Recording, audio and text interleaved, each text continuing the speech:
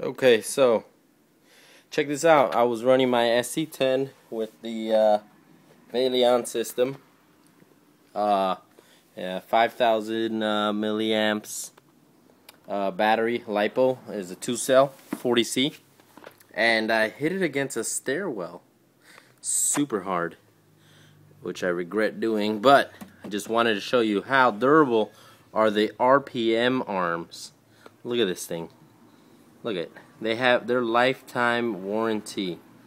Nothing happened, and all the only thing that happened was this pin actually just saved my hub, which is funny. This little pin right here, it actually saved me from buying a new hub. Uh, as soon as it as it hit the uh, the stairwell, this pin popped out and released my hub. How cool is that?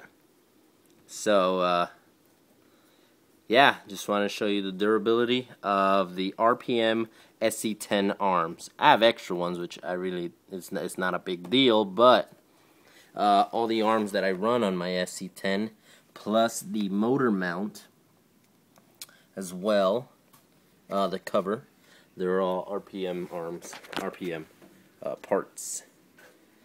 Okay. Uh, yeah, it's a little sticker I have there. But yeah.